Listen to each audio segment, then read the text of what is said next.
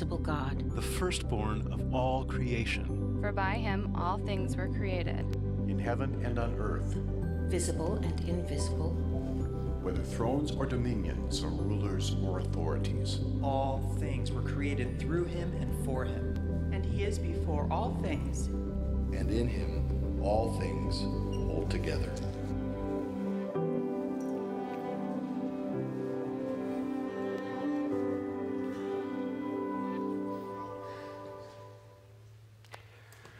Well, we've been hearing those words uh, now for six weeks or so, and Pastor Jeff has been encouraging us as a church family to try to memorize those verses from the great book of Colossians in the New Testament. So this morning, as we wrap up, I want to see how we're all doing. So I'm going to put the verses on the screen and lead you through a sort of fill in the blanks, see how you're doing, all right? You ready to go with me? Just fill in the words as we get to the space. He is the image of the invisible God. Nice. You can see how it goes. The firstborn of all creation, for by him all things were created in heaven and on earth, visible and invisible. Somebody said it over here. Nice. Whether thrones or dominions or rulers or authorities. Some of you aren't even moving your lips, so move your lips so, so I can think you're memorizing it. Okay. All things were created through him and for him. I always want to say by him too, but it's through him and for him.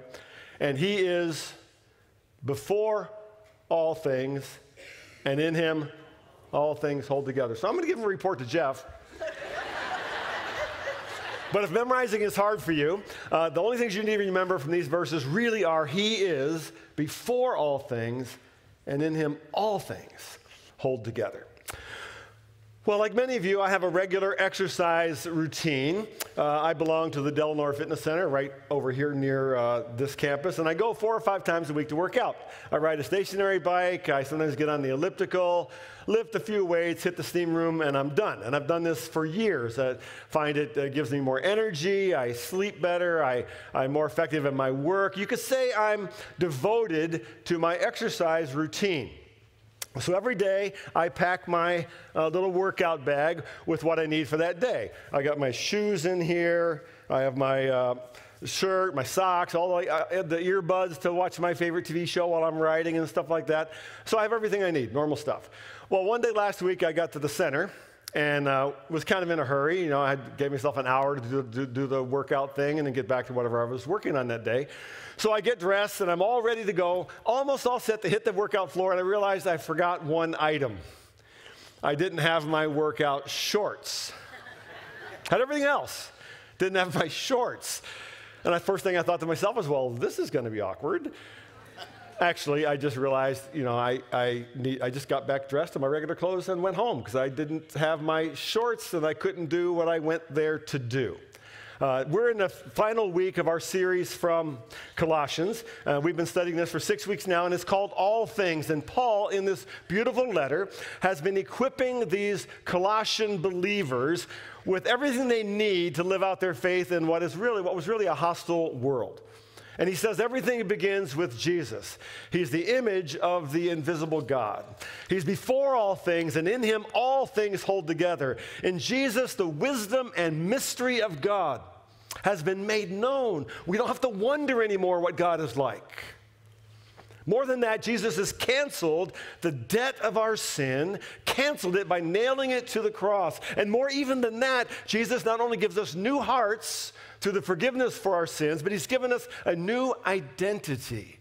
That is, we are no longer identified by our culture, by our race, by our education, by our wealth, by our success, even by our failures and our sin.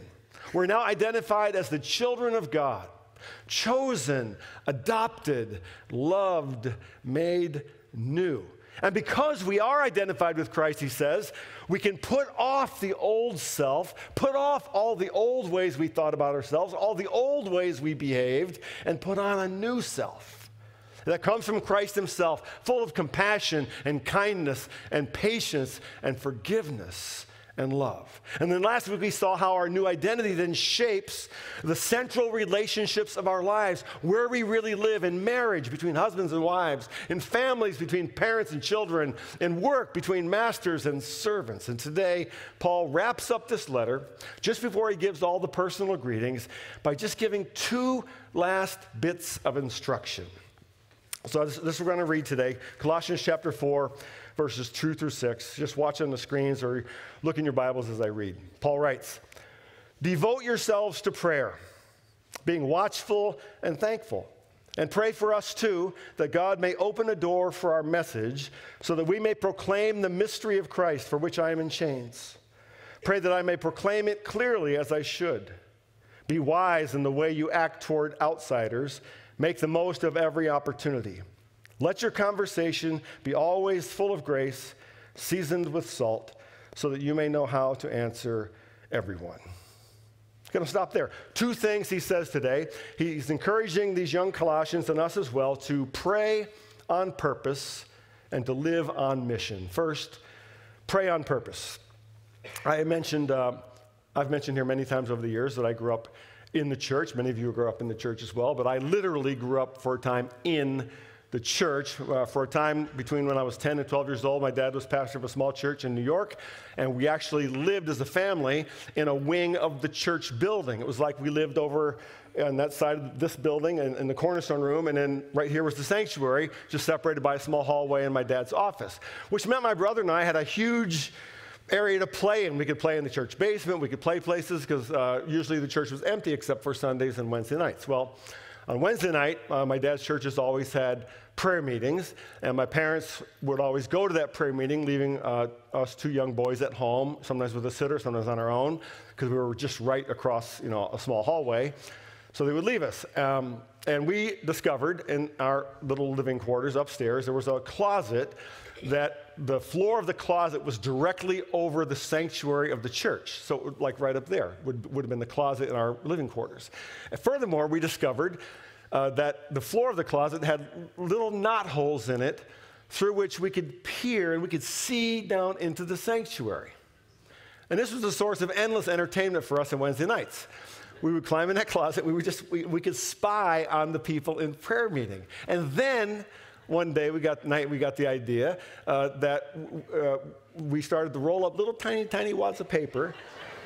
And we could we were we were trying to we were dropping them through these holes trying to land them on the on, on the hair of the church ladies kneeling in the pews to pray. Never even dawned on us that it wouldn't be real hard to trace who was doing that because everybody knew the Coffey boys lived up, lived over there. Uh, and i don't remember all the details about when my dad eventually discovered what we had been doing but i do remember that my brother and i had our own little prayer meeting at that time. Paul says, devote yourselves to prayer. Another translation says, continue steadfastly in prayer. Now, Paul has already told the Colossians that he prays for them. And he's told them exactly what he prays for them and why. Let me read these for you. We covered this a few weeks ago. Well, way back in chapter 1, the apostle writes to them, We always thank God, the Father of our Lord Jesus Christ, when we pray for you. Now, notice the words I've put in red here. This is what he prays and why. Because we've heard of your faith in Christ Jesus and of the love you have for all God's people. For this reason, verse 9, since the day we heard about you, we've not stopped praying for you. We continually ask God to fill you with the knowledge of his will through all the wisdom and understanding that the Spirit gives, so that you may live a life worthy of the Lord and please him in every way, bearing fruit in every good work, growing in the knowledge of God, being strengthened with all power through his glorious might, so that you may have great endurance and patience, and giving joyful thanks to the Father who has qualified you to share in the inheritance of his holy people in the kingdom of light. Then, chapter 2, I want you to know how hard I am contending for you and for those at Laodicea, and for all who have not met me personally. So, Paul's prayer for the Colossians was very purposeful. He prayed specifically that these Colossians would grow in their knowledge of God, that they would live lives worthy of the Lord, bearing fruit. In other words, you could say he was praying that they would experience grace, grow in faith, and make an impact right where they were, which is part of why we say those words most every week here at Chapelstreet. And more even than that, he says he's contending for them. That word means to fight for someone, to stand up for them. And that's how Paul prays for the Colossians. Now, if you're a parent, uh, you understand, I think, just instinctively this kind of prayer. Because when you pray for your kids, you can contend for them. Uh, you never forget to pray for your children. You don't stop praying for your children. It's just how we're wired. Now, he asked them to contend for him. Imagine what this would have felt like for the Colossian believers. This is the great apostle Paul. Uh, who's asking them if they would pray for him. It's a powerful thing.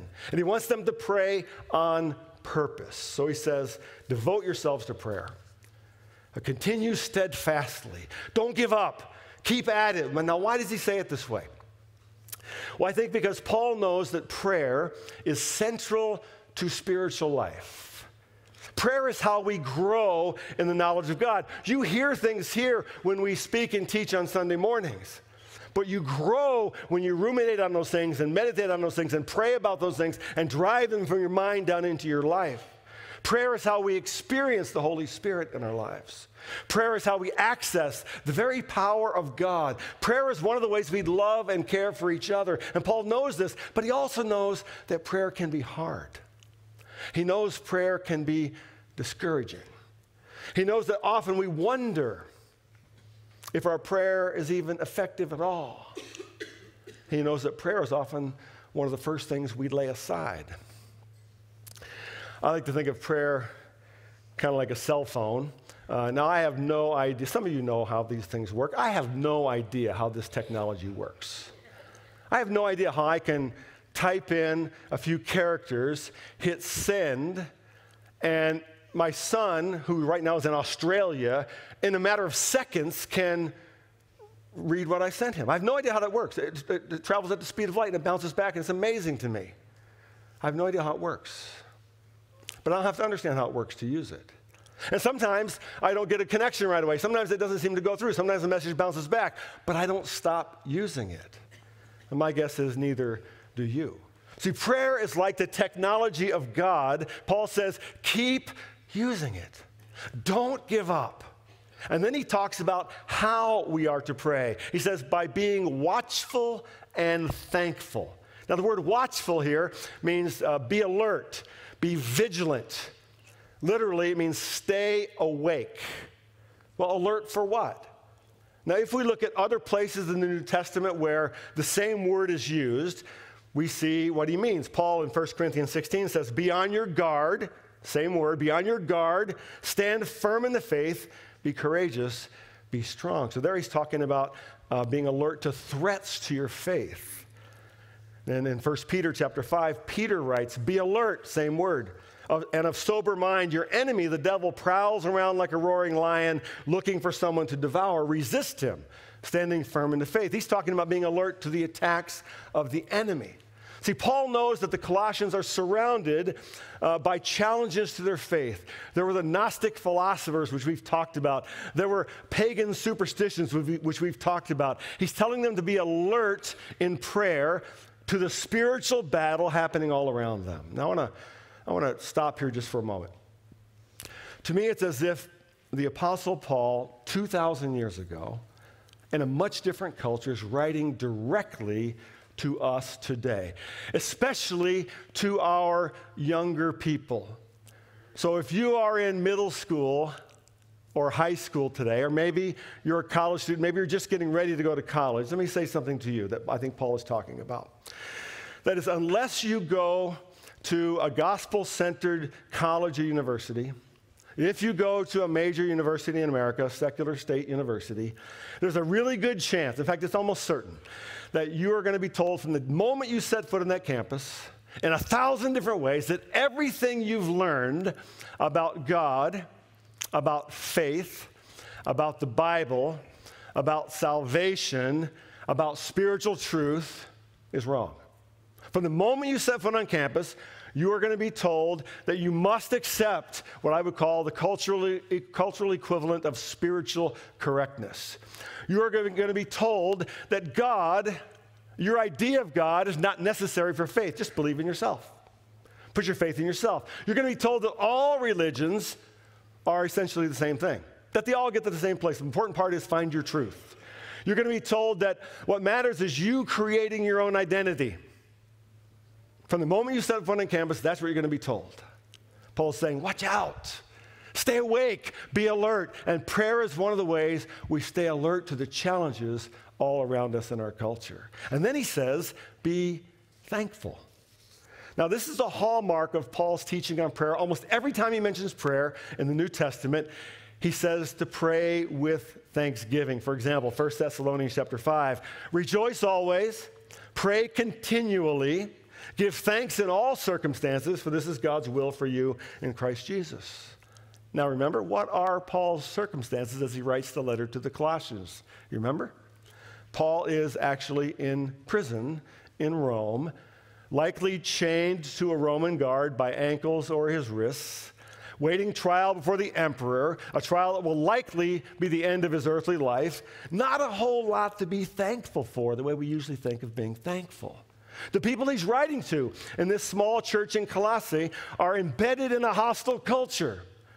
So it makes sense that Paul would say, Be alert, watch out. But now he says, Be thankful.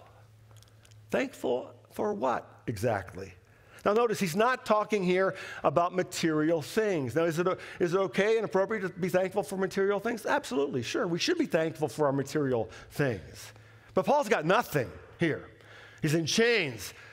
So, what's he being thankful for? What's he been talking about in this letter? He's thankful that through Jesus, the mystery of God has been made known. He's thankful that through Jesus we have the hope of glory. That's heaven, eternal life. That through Jesus we have new identity in Christ, that He's the one who changes who we are and how we live. And no matter what our circumstances, He says, those are truths that we can be thankful for. And then He tells them what He wants them to pray for. Notice verse 3 and pray for us too that God may open a door so that I can get out of this prison. No, uh, he doesn't say that. Open a door for our message so that we may proclaim the mystery of Christ for which I am in chains. Pray that I may proclaim it clearly as I should. Well, way back in my student ministry days years ago, I used to lead a high school Bible study group on Wednesday nights, and we'd have 40 or 50 students gathered in a community center we used to rent. And um, we'd have some small groups, I'd teach some, and then at the end, we'd always have a little time of prayer, and I'd have the students give me anything they wanted me to pray for. And it would be usually things like, you know, a sick grandma, or I have a test next week, or something like that. And, but one night, uh, a, a kid who was there, I think, for the first time, raised his hand. It was really unusual because usually new kids didn't share a prayer uh, concern. So I said, Yeah, what do you got? And he said, um, Yeah, uh, like, could you uh, pray that I won't get grounded? It's like, hmm, might be a story there. So I said, Do you mind, uh, mind? Thanks for sharing, but can you tell me a little bit more? And he did. He said, Well, uh, the day before, he and a buddy had uh, stayed out late at night past their parents' curfew. And that since they realized it was already too late to go, to go home, their parents would be upset. They just stayed out all night. then went to school the next day, that day, Wednesday, and stayed in school all day, then stayed out after school as well, avoiding going home. Then he came straight to our Bible study, invited by a friend, and he was going to go home after that. And he knew his parents would be upset, so I, could I please pray that he wouldn't get grounded? so I said, thanks, for, uh, thanks again for the detail, um, but I don't think I can pray for that. And the whole room got really quiet, like, what? I said, I don't think I can pray for that. Here's what I think I can pray. I'll pray that you'll have the humility and the courage to go home tonight to apologize to your parents for disregarding and disrespecting them, disregarding their boundaries, and that you'll uh, accept any, uh, any discipline that they see, they th- think fits uh, what you did. I'll, i can pray for that. Would it be okay? And he went, uh, okay. so many of our prayers are like that, aren't they? We pray for ourselves and our circumstances, sometimes to get out of the trouble that we kind of created for ourselves. We pray for our needs, our problems. Now, should we pray for our circumstances about them? Yes, it's absolutely appropriate to, but that's not what Paul's talking about here. That's not what he's asking them to pray for. He's asking the Colossians to pray on purpose and for purpose, and pray for us too. And by the way, you may be wondering who the us is. Uh, if you keep reading Colossians, as some of you have to the very end, uh, Paul mentions a whole bunch of names. These are men who were either in prison with him for their faith or who were serving and helping him as he was in prison. Names like Tychicus, Onesimus, Aristarchus, Mark, the cousin of Barnabas, Justus, Epaphras, who was the pastor, founding pastor of the church in Colossae. Even Luke, yeah, that Luke who wrote the Gospel of Luke and the book of Acts, was there as a doctor attending to Paul's needs. So Paul had a community around him there in Rome.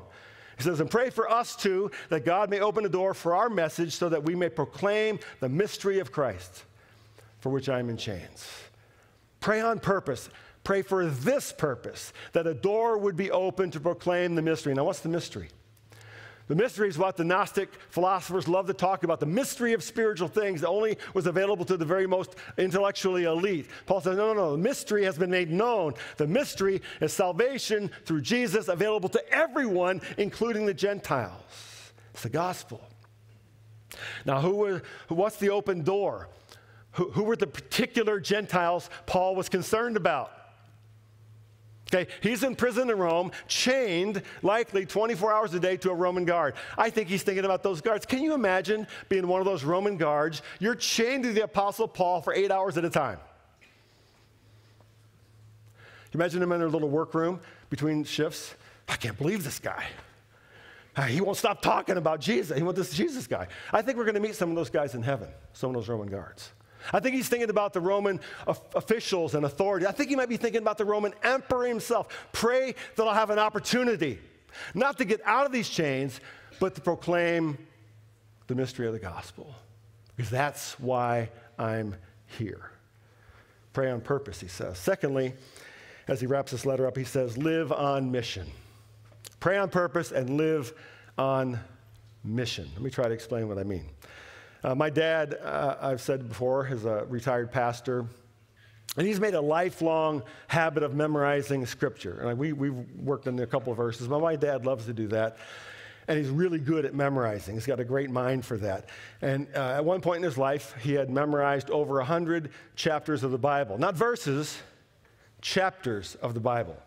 And he liked to, to have the opportunity to demonstrate this gift anytime you gave him an opening and it would drive us sort of crazy. You know, uh, hey, let me share what I've been memorizing. Oh, I need like, you know, because he, could, 'cause he could go for like a half an hour on stuff that he'd memorized.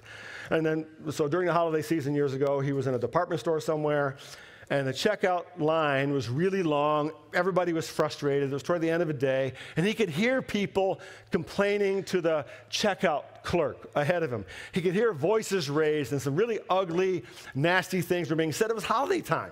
So when he finally got to the clerk with what he was buying, uh, the lady looked just completely defeated, frazzled, near tears.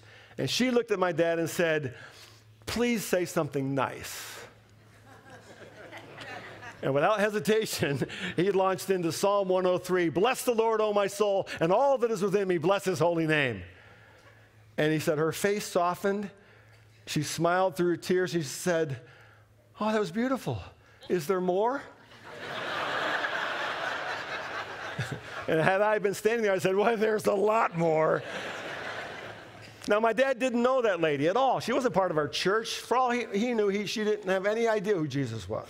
But he saw an opportunity for grace.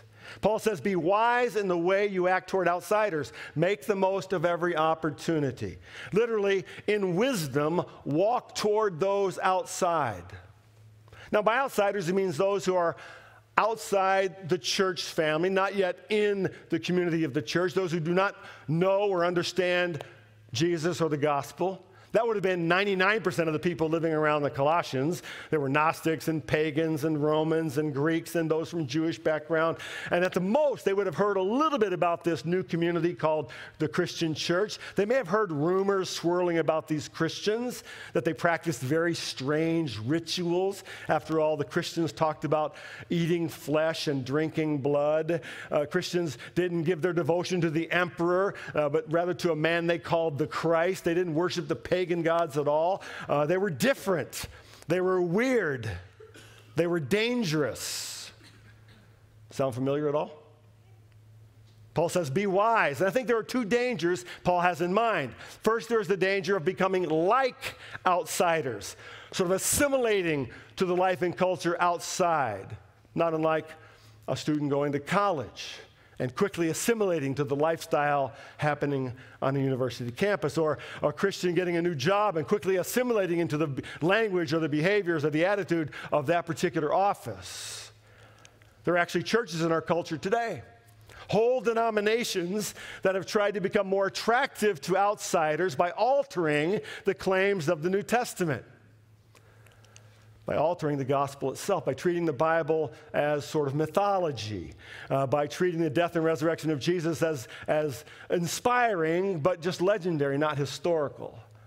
Interestingly, those are the churches in our culture that are dying because they've lost their purpose. The second danger I think Paul is talking about is avoiding or condemning outsiders. Got a call in my office uh, years ago from a man I did not know he identified himself as a recovering alcoholic. And he said to me, um, Pastor, I just want to know if I can come to your church. I said, Well, first of all, it's not my church. And second of all, of course you can come. Why do you ask? And he said, his voice actually broke, and he said, Well, I relapsed recently, and the church I was going to told me not to come back. Paul says, Be wise in the way you act toward outsiders make the most of every opportunity. He's saying, pay attention. Life is short. Paul was very aware that the end of his life may have been coming. He knew he didn't have a lot of time left. That's true for all of us. Time is short. You never know when the opportunity for spiritual influence will, will come up. Maybe you're in the checkout line. Maybe you're getting your coffee. Make the most of the opportunities, he says. And finally, verse 6 let your conversation be always full of grace, seasoned with salt, so that you may know how to answer everyone. Every now and then, someone will ask me something like this uh, How can I be more effective, more influential for Jesus um, where I work or in my neighborhood or at school? How can I be more effective? Well, Paul has a very simple encouragement here. He's just saying, live on mission. To live on mission, he says we need two things in our bag grace and salt. We are to be graceful and we are to be salty. Here's a question What would you guess, what would you say is the cultural narrative? about Christians in our culture. Another, what someone driving by this campus today on the road uh, sees all the cars in the parking lot. What are they assuming we're about in here? Well, here's what I think many think. They think we are uh, sort of collectively narrow minded. Uh, they think we are probably both ignorant and arrogant. Bad combination. They think we're hopelessly out of touch with the real world. They even might think that we sort of hate those who don't agree with us. I think that's the narrative. How do we change that narrative? Paul says, grace. Grace. Think about our world today. Think about our culture. Think about social media right now. I think I can make an argument that we live in a graceless culture. A shocking lack of grace. The word grace means gift, undeserved favor, and it's at the heart of the gospel. So when we are graceful, when we treat people with respect and care and compassion, we change the narrative and we introduce them to the grace of Jesus. So, what salt? What does he mean by salt? I think by salt, Paul means the truth of the gospel. That in Jesus we find new hearts, new identity, new purpose, and new destiny. Paul uses the word salt because salt adds flavor, because salt in the ancient world was a preservative from corruption, and because salt makes people thirsty. Let your conversation be always full of grace, seasoned with salt, so you may know how to answer everyone. Paul assumes that if we are full of grace, if we sprinkle our conversations with the seasoning of salt and truth, people will ask questions, and then we can answer. Many of you have heard the name Lee Strobel. Um, He's a well known pastor, speaker, author. He writ- has written a bunch of books. One of his books, The Case for Christ, recently was made into a movie. Um, but before he became a follower of Jesus, Lee Strobel was a newspaper reporter for the Chicago Tribune. hard driving, aggressive, uh, self proclaimed atheist. And I heard him speak years ago, and he told sort of the prequel story to his life. That is, during the time when he was uh, an aggressive atheist and a newspaper reporter, he had a young coworker who um, let it be known that he was a, a, a, Christian, a follower of Jesus. And Strobel thought that was the craziest thing he'd ever heard, and he despised the guy. And so he went out of his way to make life for this young guy um, unbearable. Uh, made fun of him, criticized him, gave him lousy assignments, just made his life uh, generally miserable. And he did it for fun. Well, um, I think it was uh, Strobel's wife had a difficult pregnancy, some dangerous things were going on, and the only person in the whole office who called to offer support was that guy that he had been abusing in work. This young guy called him and just said, Mr. Strobel, I wanted you to know that my wife and I are praying for your wife and your baby. That was it. That's all he said. Strobel was shocked at that phone call and later said that that was the first person in his life who moved him toward the God he did not yet believe in. We say every week that we want people to experience grace, grow in faith, and make an impact where you are. I think Paul would agree. And more than that, I think he would love that we say that because that's what he was trying to say. Because that's why we're here. So, the last two bits of instruction he gives to these people in Colossae, 2,000 years ago, he gives to us today. The last two things pray on purpose and live on mission. Let's bow as we close. Lord, we thank you today for your word. Thank you for this ancient letter that is really so contemporary. Thank you for reminding us of the power of prayer, the encouragement not to give up. Thank you for reminding us of the power and impact of a life lived on mission. May we be people filled with grace, people that live lives seasoned with salt. It's in your name that we pray. Amen.